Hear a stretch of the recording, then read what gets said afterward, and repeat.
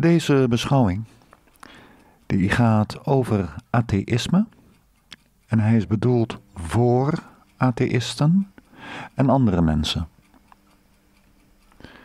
Mijn dochter is atheïst, zegt ze. En die komt vanavond eh, bij mij eten. Dat is ook weer toepasselijk om dan even uh, ter voorbereiding van de komst van het lieve kind even na te denken over atheïsme. Deze beschouwing is deel 2. Ik heb er al eentje op staan. En als je die nog niet beluisterd hebt, zou het aan te bevelen zijn om eerst die te beluisteren voordat je hier verder uh, naar gaat luisteren. Maar voor de continuïteit, even een korte samenvatting van deel 1, waarin ik stilsta bij het begrip relatie tussen, ja, het zijn altijd twee dingen. Hè? Oh, drie, maar, maar een relatie is tussen twee, alles, minimaal.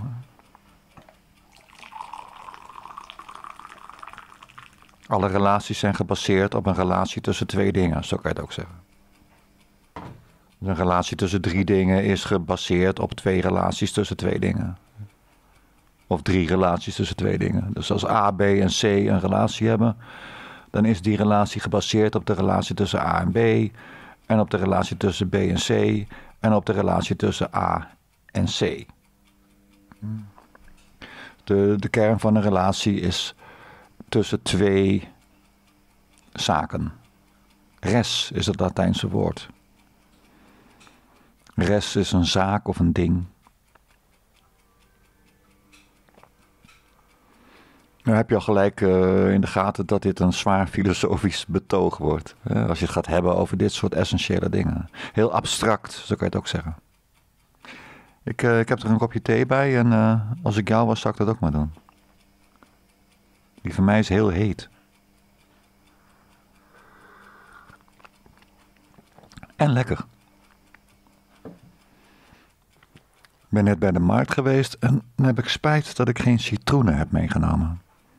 Dat lekker, hè? Citroen in de thee. Kijk, een relatie tussen twee dingen. Daarbij heb ik gezegd dat daar drie mogelijkheden voor zijn, voor zo'n relatie. En het kan zijn dat andere filosofen mij zijn voorgegaan. En dan denk ik met name aan A.N. Whitehead, of Whitehead. Een filosoof uit het begin van de 20e eeuw. Dat was een kennis van Bertrand Russell. En ik dacht dat Whitehead of Whitehead, dat dat een homoseksuele man was. Dat vind ik altijd weer zo apart dat je, als dat het geval is, dan weet iedereen dat ook. Wel, ik ga niet de geschiedenis in als een hetero, maar... Ja, Piggy, ja, dat, uh, die ken ik wel. Maar het was toch een hetero, hè? Ja, dat, uh, dat dacht ik al dat hij hetero was. maar bij Whitehead weet je dat dan wel. Wat wordt dan gezegd? Anyway, Whitehead die heeft ook een soort verhaal over het alles en hij leidt het alles terug tot dat het alles niets meer is dan een verzameling van relaties. Soort taalkundige beschouwing van het alles, van het zijnde, dat is het mooie woord. Nou, en je kan zeggen, ik doe er ook even een schepje bovenop in die hoek. Maar Whitehead of Whitehead, die dacht ik hoor, ik heb dat werk niet bekeken, maar hij heeft, dacht ik, een werkje geschreven dat heet On Relations of zo. En dan is het met name wiskundige toestanden. En daar begeef ik mij niet op. Niet nodig.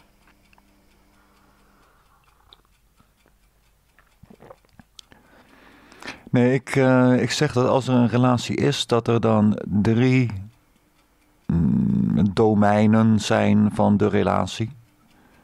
Ik heb het echt over alle relaties, hè? Dus, uh, um, wezens met een hart. Zoals mensen en koeien en uh, olifanten, noem eens wat. Maar onder die wezens, daar heb je nogal regelmatig dat die wezens ook beschikken over nieren. Dus er is een relatie tussen een hart en nieren. Ja, laten we deze relatie even als voorbeeld nemen van hoe komt het nou dat wezens met een hart, dat die in de regel ook beschikken over nieren. Er zal er wel een uitzondering zijn hoor, het uh, wit-blauw gerande stekelige bruin diertje of zo. Dat zal wel. En in algemeenheid hebben wezens met een hart hebben ook nieren. Ja, dat komt omdat er een derde factor in het spel is. En die factor die heet bloed. Want bloed moet door een hart in de ronde gepompt worden en dat moet door de nieren worden gereinigd. En doordat er bloed in een lichaam zit, heeft een lichaam dus een hart nodig voor het pompen en nieren voor het schoonmaken. Ik, ik grijp er zomaar eentje. Een andere relatie is uh, hamers en spijkers. Ja.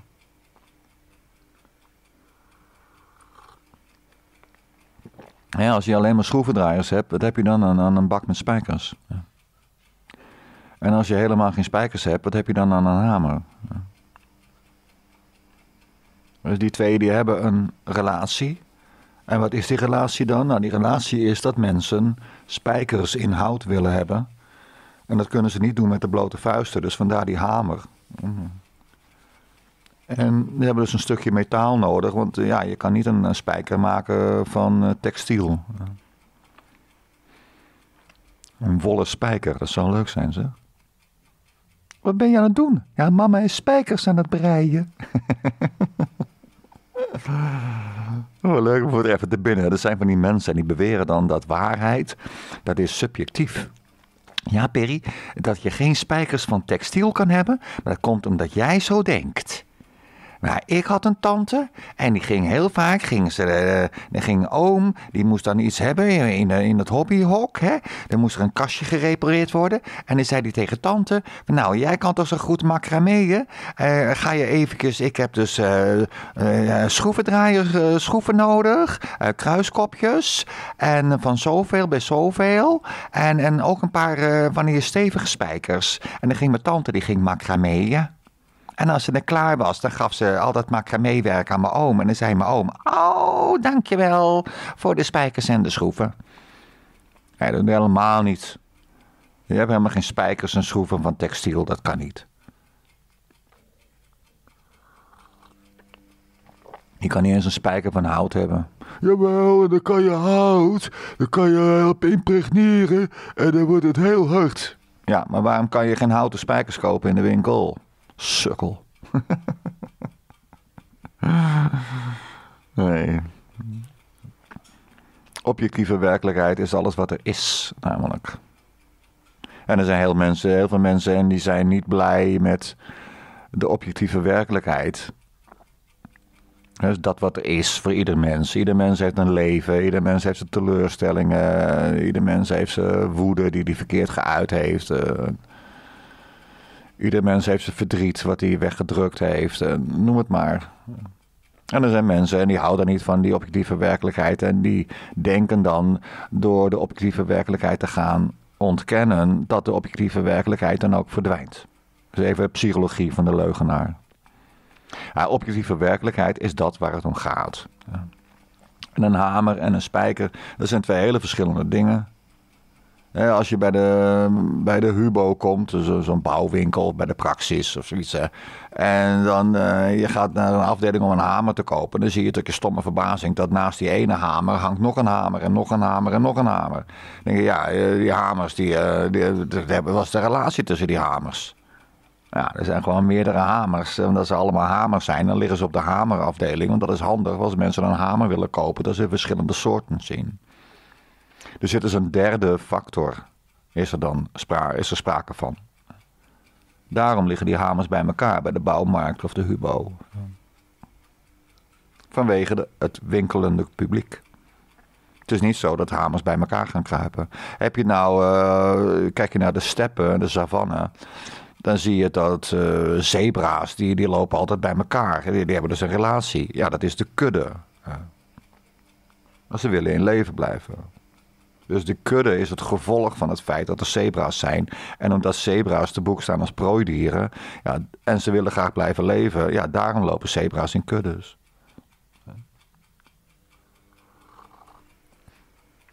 Nou, dan heb je dus de derde mogelijkheid. Dan heb je dus de relatie. Die is een, ik noem het maar een oorzaak- en gevolgrelatie. En dan neem je zebra's en kuddes. Daar is niet een derde factor. Die, zebra die, ja, die, die leeft in een kudde. Want levende wezens willen graag in leven blijven. Je zou dat de derde factor willen noemen, kunnen noemen. Zeggen, nou, een zebra wil graag in leven blijven. En omdat de levenskansen van een zebra aanmerkelijk stijgen als die in een kudde verblijft, daarom heb je kuddes van zebra's. Dus dan zou je de wens van een zebra om in leven te blijven los moeten zien van de zebra. En dan zou je kunnen zeggen, er is een derde factor. En ik zou zeggen, nou ja, nee. Ik zou zeggen, dat kudde gebeuren, dat is een gevolg van het feit dat ik zebra's heb. En neem je kippenpoep en kippen. Daar is niet echt een derde factor. Dus de, die kippenpoep is het gevolg van de kip. Dus je hebt een oorzaak-gevolg relatie en dat is ook een relatie.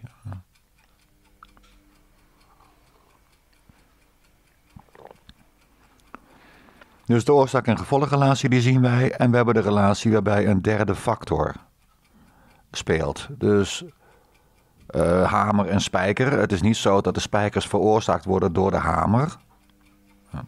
Maar de hamer en de spijker eh, worden veroorzaakt door de mens en die wil graag timmeren. En die mens veroorzaakt een hamer en een spijker. Dus hamers en spijkers hebben een relatie door een derde factor. En die derde factor is de mens in deze. Nou, dat zijn dus de twee relaties die je kan zien. Dus een oorzaak- en gevolgrelatie. En de relatie die dan is omdat er een derde factor is. Nou, de laatste mogelijkheid, maar ja, dat is dan eigenlijk geen relatie. En die relatie is dat het toevallig is. Dus je, je ziet het wel op hetzelfde moment of in dezelfde wijk of in dezelfde straat of... Uh, in hetzelfde laadje van de kast. Maar het is puur toevallig. Dus het heeft niks met elkaar te maken.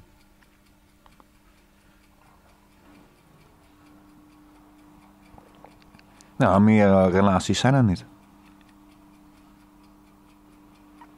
Of jij moet er eentje verzinnen in jouw. Ja, dat jij met je fantasie eens even gaat graven. Ik heb de afgelopen dagen uh, mijn hersenen goed de kost gegeven. En lopen nadenken over allerlei relaties en gedacht van nou is er nog een vierde mogelijkheid. He, behalve oorzaak-gevolgrelatie. Uh, de relatie is daar vanwege een derde factor. Of uh, het is puur toeval. Nou, meer kan ik er niet verzinnen.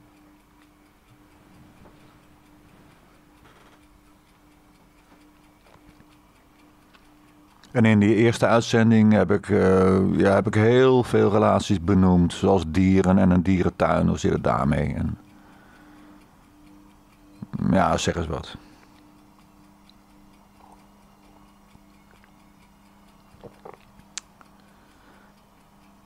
ik kom er dus niet verder uit dan die drie. Nou, en de vorige keer over het atheïsme heb ik het begrip genomen het woord. Dat is een zaak, dat is een res. Er bestaat zoiets als het woord. Dat is de gedachte. En los van het woord heb je de, de wereld. En het woord is meer dan dat wat je hoort op dit moment uit mijn mond. En meer dan dat wat je leest in een boek. Want dat wat je hoort uit mijn mond, dat is het gesproken woord. En dat wat je leest in een boek, dat is het geschreven woord.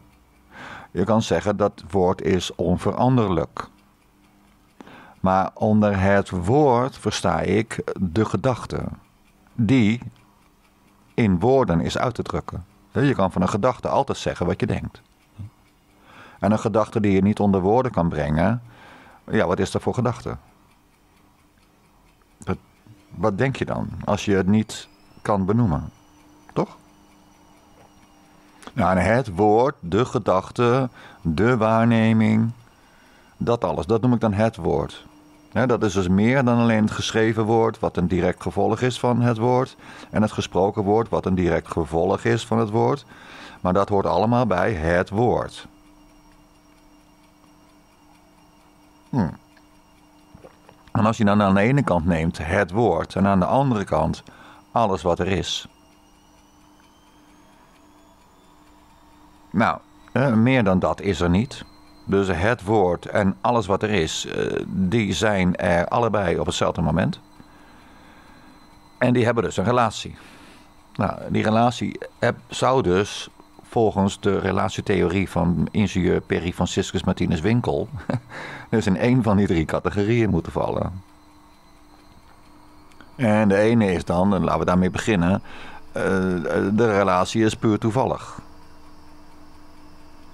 Wat in zou houden dat alles wat er is, dat is toevalligerwijs gaan spreken. Nou, dat kan niet. Dat kan echt niet. Dat is onmogelijk. Hoe moet ik het zeggen? Nada, niente, never, nooit niet. Dat kan niet. Dat weten wij sinds het begin van de 20e eeuw op basis van het werk van Gerard Heijmans. Met een Y. H-E-Y-M-A-N-S. Dat is een Groningse filosoof. Nederlander dus. En hij is niet de enige geweest hoor. Maar het is dan toevallig degene die ik ken. Nou, waarvan ik het boekje ken, waarvan ik het bewijs ken. Nee, er is geen materiële verklaring van hoe materie uh, gekomen is tot het woord. Dat is ondenkbaar.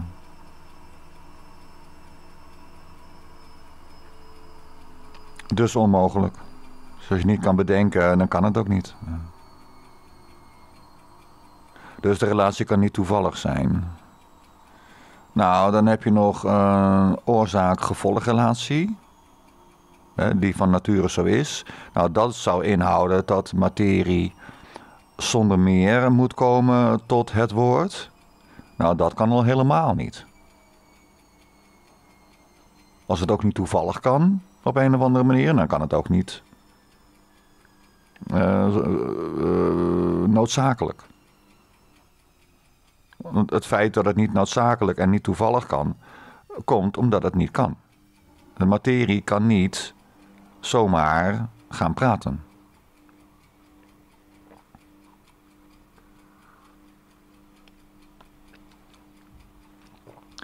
Nou, hoe is dan de relatie tot stand gekomen dat je momenteel het woord hebt en alles wat er is?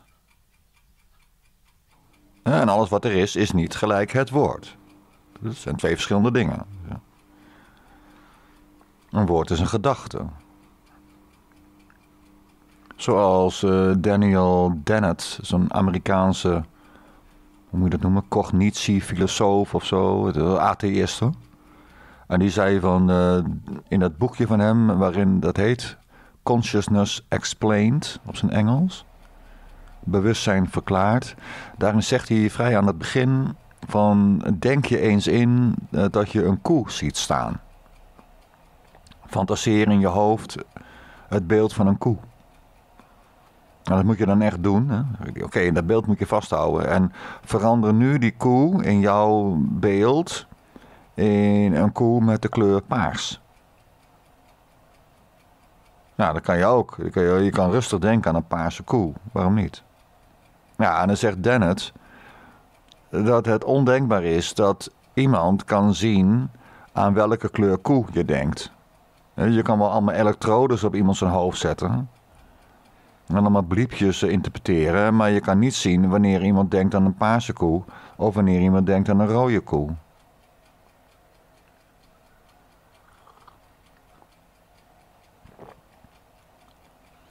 Dat gaat niet. Er is niet in je brein iets wat paars wordt als je denkt aan een paarse koe. Dat zijn dingen die zijn niet materieel.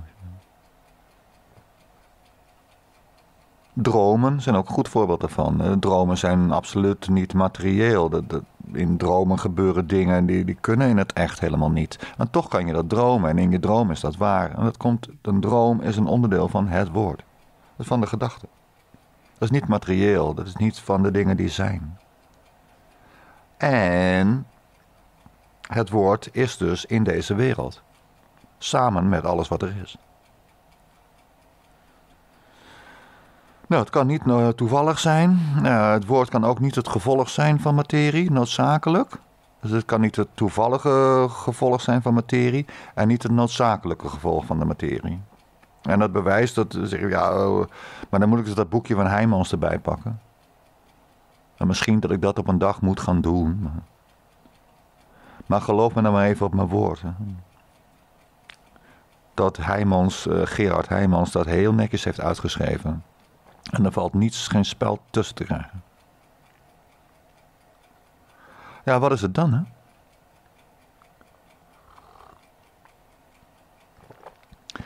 Nou, de, de derde mogelijkheid. Eh, de, dus, toevallig kan niet. Dan is de tweede mogelijkheid. Is dat het woord niet het gevolg is van de materie, maar dat de materie het gevolg is van het woord. Dat kan.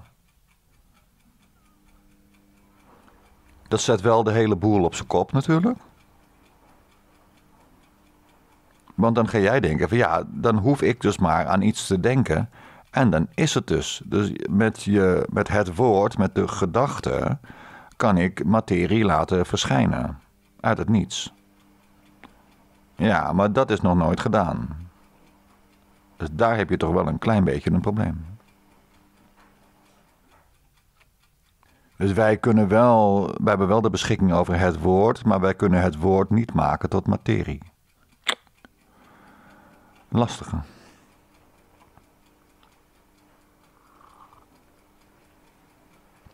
Nou, en dan is er nog de derde mogelijkheid. Dus we hebben nou die twee oorzaak-gevolgrelaties bekeken. En dan heb je dus de materie maakt het woord, veroorzaakt het woord. Nou, dat gaat dus niet, logisch gesproken. En andersom, uh, het woord veroorzaakt de materie. Ja. Ja, dat gaat ook een beetje uh, mank. Nou, dan blijft de derde mogelijkheid als enige over. En dat is dat er een derde factor is.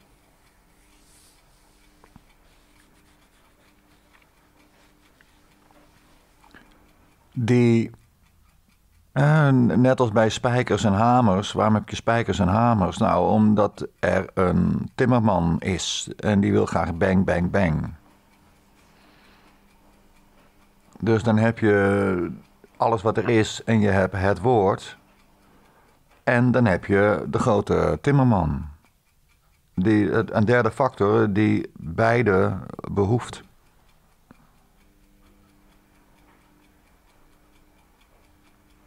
En dat is de definitie van God.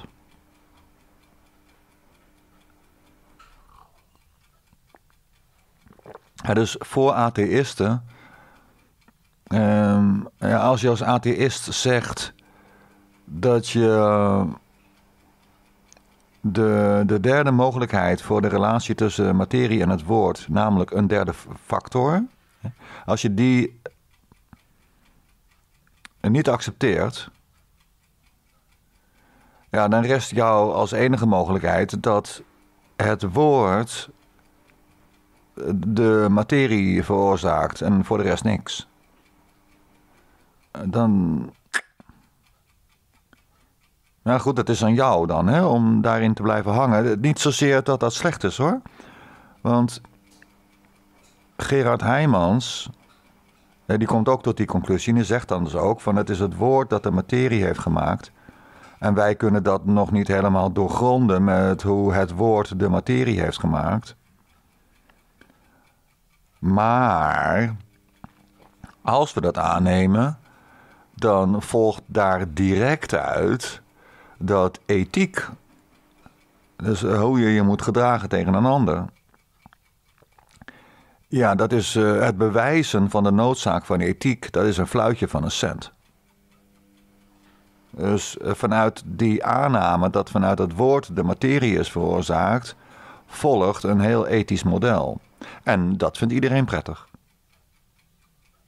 Ook uh, is diegene die zich gedraagt een atheïst, dat maakt me helemaal niet uit. Uh, mijn dochter komt straks eten en uh, ja, zij is een atheïst. Nou, daar ga ik verder helemaal niet moeilijk over doen. Ik vind het belangrijk dat ze niet. Ja, zij is dan altijd zo verschrikkelijk op tijd. Dat hoeft van mij ook niet. Ze mag best een kwartiertje te laat komen. Dat interesseert me helemaal niks. En als ze dan hier komt, dat ze een beetje vriendelijk doet. En nou, een beetje belangstellend is. En ja, that's it. Maakt mij uit als atheïstisch is. Ik ben het er niet mee eens. Uh, maar er is geen reden door directe paniek of zo.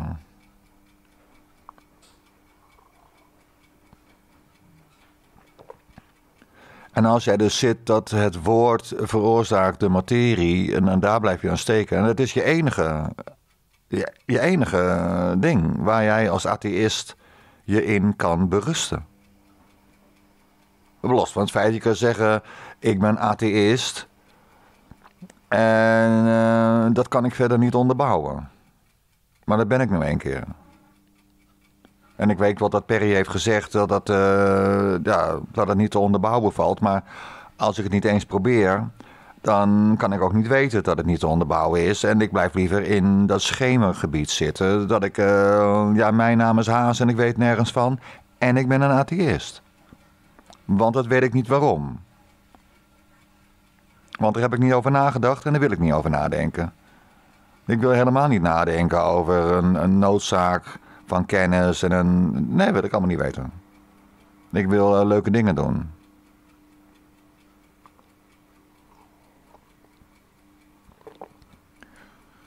Ik ben het liefst uh, ja, een soort teletubby in uh, Lala Land.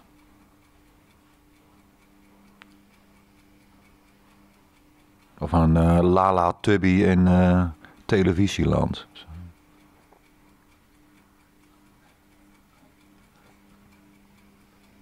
Ja, dat mag natuurlijk. Je kan niemand verbieden om onwetend te blijven en onwetend te willen blijven. Als mensen dat willen, ja, wat moet je eraan doen? Dus. dus even waar je staat als atheïst. En en voor mij, want ik ben een, ik ben een bijbelgelovende christen. En voor mij staat Johannes 1, vers 1, dat staat als een huis. In de beginnen was het woord. Dat is de eerste deel van Johannes 1, vers 1. Van de eerste zin daarvan. En het woord was bij God. Dan komt dus God komt erin. Dat is dan de factor die het woord als eerste sprak. En het woord was God.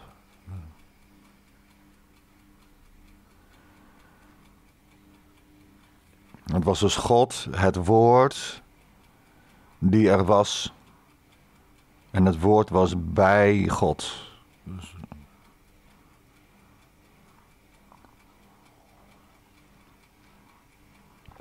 God is de grote spreker. En dan is ook het geen enkel probleem om aan te nemen dat de materie veroorzaakt is door het woord. Want, en, en, waarom wij dat dan niet kunnen? Nou, het antwoord daarop is dat wij uh, geschapen zijn naar de gelijkenis van God. Maar we zijn niet gelijk aan God.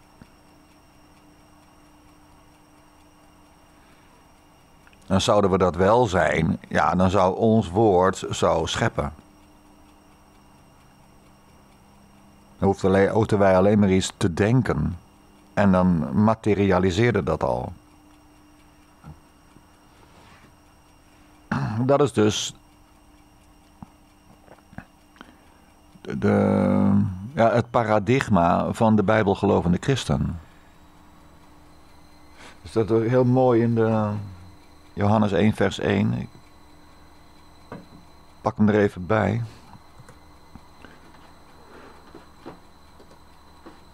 In de Statenvertaling. Ik vind die van, die ik ook heel mooi vind, is de, de King James. Hoor. Die, die is ook heel mooi. Misschien dat als ik zin heb dat ik die er ook nog even bij kom. Pak.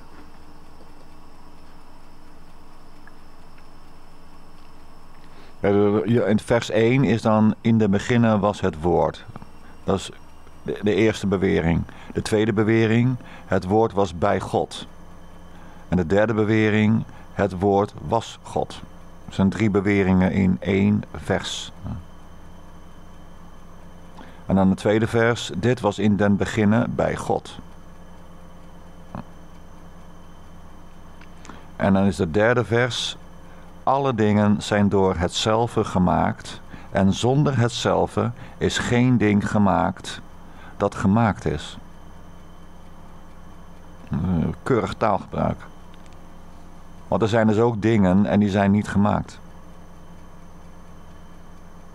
Zoals uh, verkrachte vrouwen van 16 jaar oud. Die zijn niet gemaakt. Maar die dingen zijn er wel.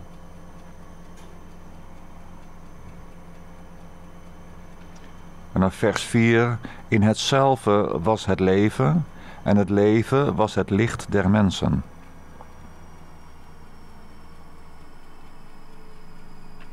En het licht schijnt in de duisternis. Dat snapt ook iedereen. En dan de tweede zin, de tweede bewering. Dit is het vijfde vers van Johannes, Johannes 1, vers 5. En het licht schijnt in de duisternis. En de tweede bewering is: de duisternis heeft hetzelfde niet begrepen.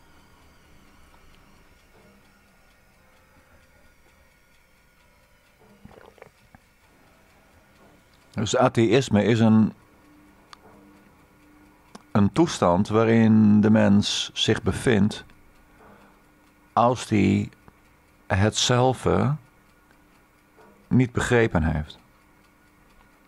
Atheïsme is daarmee verkeren in de duisternis.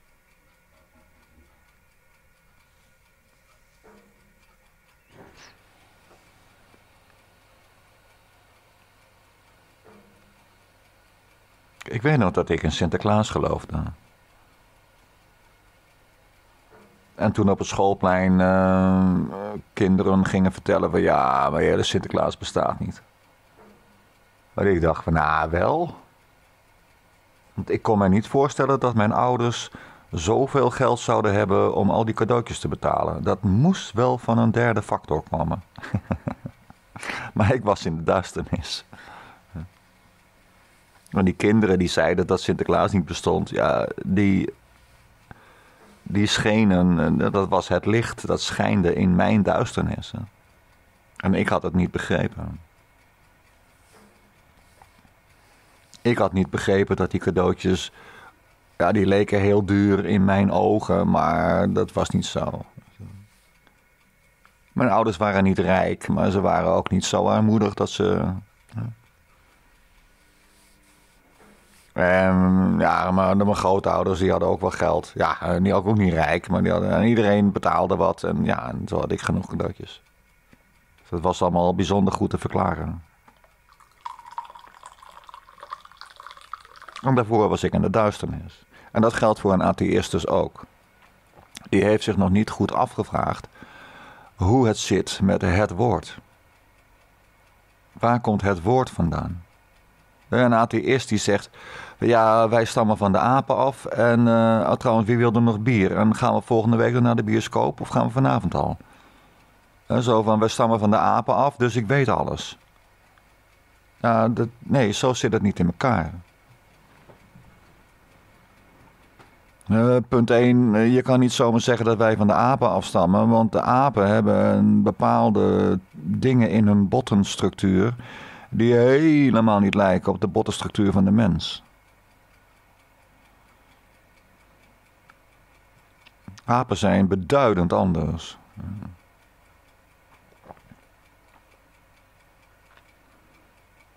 Ik zit even te denken of er nog andere dieren zijn die ook best wel op elkaar lijken, maar die niets met elkaar te maken hebben. Ja, neem een koe en een paard. Die lijken ook best op elkaar, toch? heb jij ooit gehoord dat ze een koe gingen kruisen met een paard? Nee, maar ze lijken wel op elkaar. Ja, vier poten en... Uh, ja, een paard heeft dan een hoofd en een koe heeft een kop. Maar dat is taalgebruik. Ze hebben dus uh, vier poten, ze hebben een koe, uh, een koe heeft dan een kop en een paard heeft ook zoiets. En ze hebben een staart. En ik neem aan dat een paard, dat hij ook een uier heeft.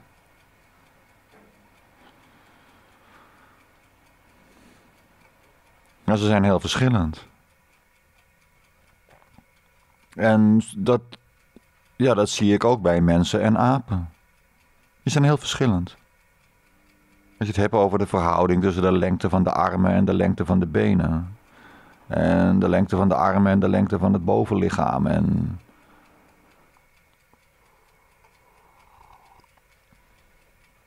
het aantal kiezen en tanden is, dacht ik, ook anders. Nou, je krijgt niet zomaar extra tanden en kiezen erbij.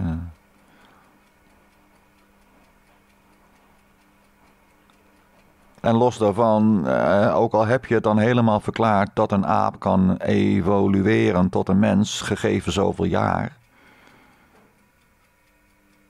Ja, uh, dat, dat is een kleinigheid. Het gaat om het ontstaan van het woord. Waar komt dat vandaan?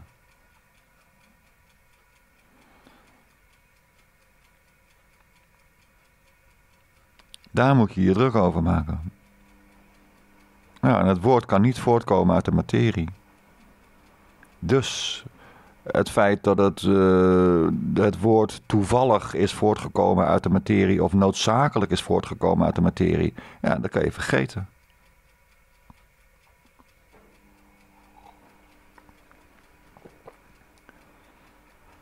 Dus de materie komt noodzakelijk voort uit het woord. Of er is zoiets als God die het woord is. En het is dan een atheïst om te kiezen tussen die twee.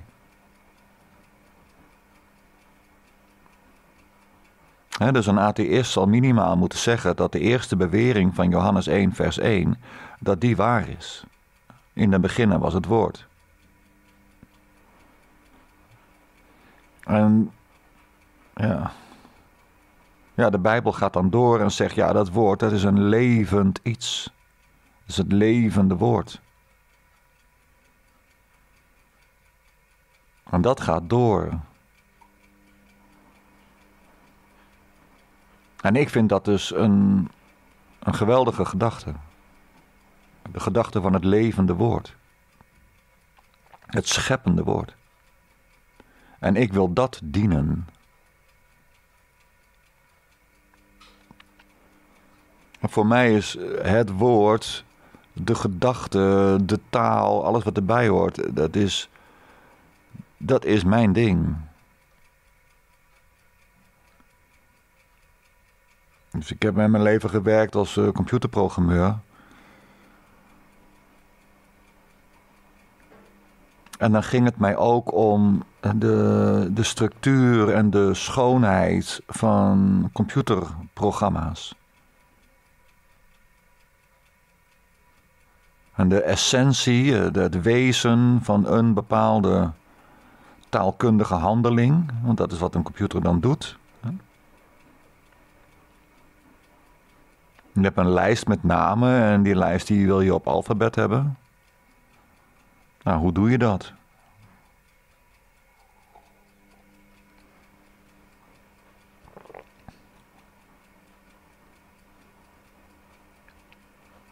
Ja, voor mij is dat zo.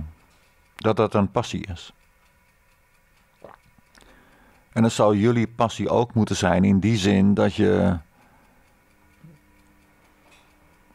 Ja, dat jij je moet verdiepen in het woord. Al was het alleen maar om goed na te denken voordat je wat gaat zeggen. De volgende keer dat je wat gaat zeggen. Dat je eerst goed hebt nagedacht. Niet zomaar dingen eruit flappen. Dat is oneerbiedig naar het woord. Dat je goed snapt dat in de beginnen was het woord. En ook al ben jij niet in staat om uh, zo ver te gaan als het eerste woord dat in het begin was, wat met het feit dat dat toen was, dat alles kwam. Dan nog dien jij jezelf op te stellen in respect voor dat woord. Of uit respect voor dat woord.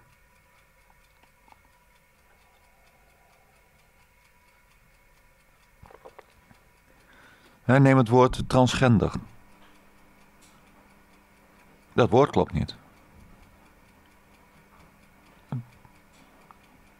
Het correcte woord voor die groep, en dat zijn dus eh, mensen die zijn geboren als een man, zeg ik het heel politiek correct. Hè?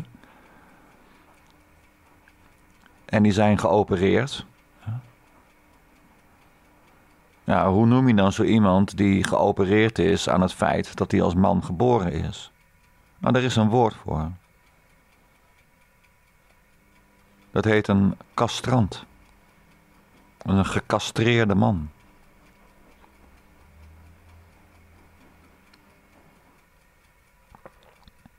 Een castraat. Ja, een castraat moet je zeggen. Is een castraat.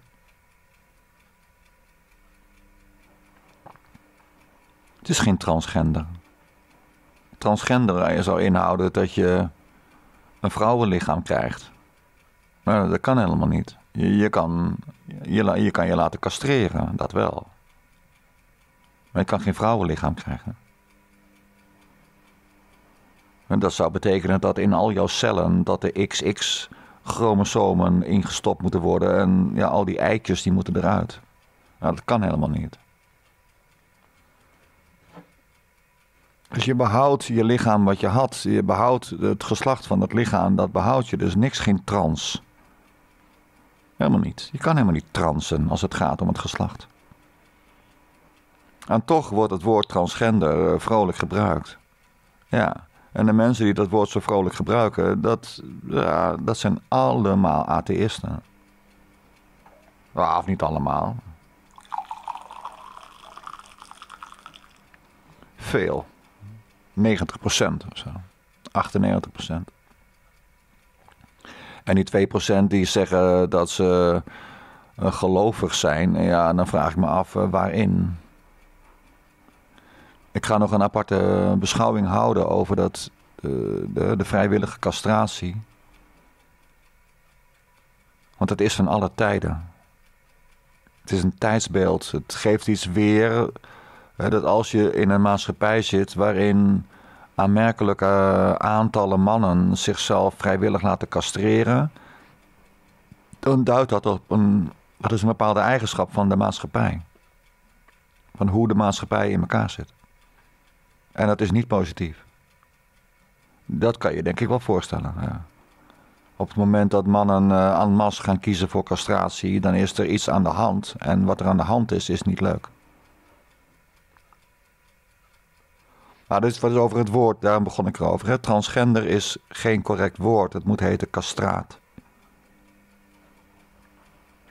Dus iemand moet ook niet zeggen: Ik heb een geslachtsveranderende operatie gehad. En je moet zeggen: Nee, ik heb me laten castreren.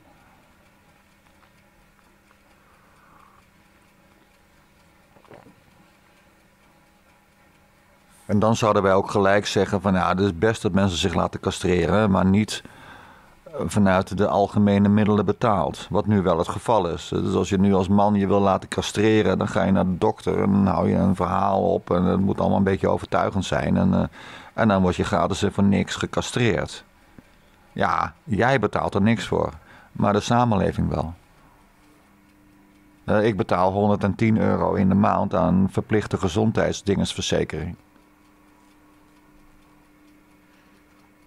En laatst heb ik een. Ik ben naar de huisarts geweest. Nou, dat was dan mee verzekerd. Ik heb, de eerste keer was ik vijf minuten bij die man en de tweede keer tien minuten. Nou, dat heb ik dan gebeurd. Daar hoefde ik niks voor te betalen, daar was ik voor verzekerd. Nou, die huisarts die heeft mij voorgeschreven um, een vitamine D-kuur. En hij zei, laat maar even bloedonderzoek doen. En ja, dat alles bij elkaar, dat kostte mij 160 euro. Ja, ik betaal al 110 euro in de maand. Dat doe ik al heel erg lang. Ik ga nooit naar de, naar de arts. Helemaal nooit. Laten we nou nemen de tijd dat ik hier woon, hier in Arnhem. Heel op dit flatje. De afgelopen tien jaar of zo. Nou, betaal ik dus 110 eh, euro in de maand. Dat is dan uh, keer 12, dat is dan 1100, dat is maar 1200 euro per jaar. Dat doe ik al 10 jaar lang. Dus 12.000 euro heb ik betaald. Nou, dan heb ik een vitamine D-kuur nodig. En even bloed prikken. En dan moet ik 180 euro betalen. Ja, waar is die 20.000 van mij gebleven? maar ik heb wel in het café gezeten met iemand en die heeft zich laten castreren. Die heeft er geen zak voor betaald. Happy. Dus die taalvervuiling, eh, daar zitten hele nare kantjes aan. Het atheïsme, daar zitten hele nare kantjes aan. Hou dat goed in de gaten. Dus denk er nog eens over na als atheïst.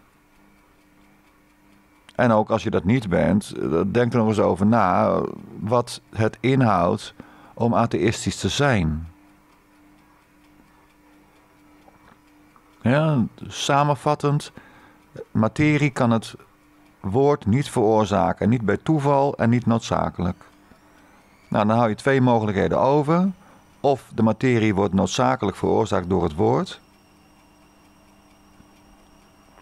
Of er is een derde factor. En die factor is dus niet materieel, is niet het woord, maar dat moet dan zijn het levende woord, het willende woord. En dat is God. En dan heb je, ja, naar mijn idee, als je dus kiest voor die laatste mogelijkheid om de wereld te beschouwen, nou met de Bijbel erbij, heb jij de grootste kans op geluk. Dat is wat ik je zeg.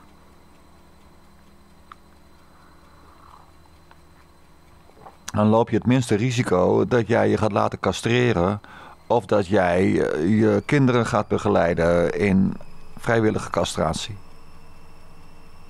Want dan kan je zeggen, ja, ik word niet gecastreerd, maar mijn zoon wordt gecastreerd. Ja, maar ben je daar wel zo blij mee? Eigenlijk. Snap je?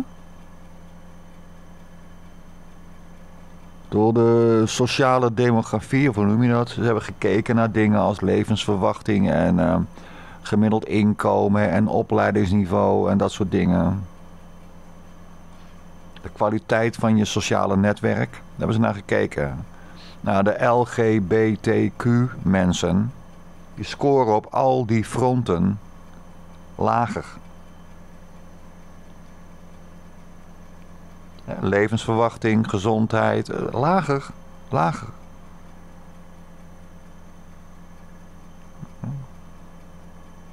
En een verklaring voor het feit dat het met de gezondheid van die LGBTQ-mensen niet zo bijster goed gesteld is. Een van de dingen die ze eraan wijten is dat zo'n castratie. Dat heeft uh, ernstige lichamelijke gevolgen. Los van het feit dat je gecastreerd bent. Maar uh, bijwerkingen en zo waar je niet op zat te wachten.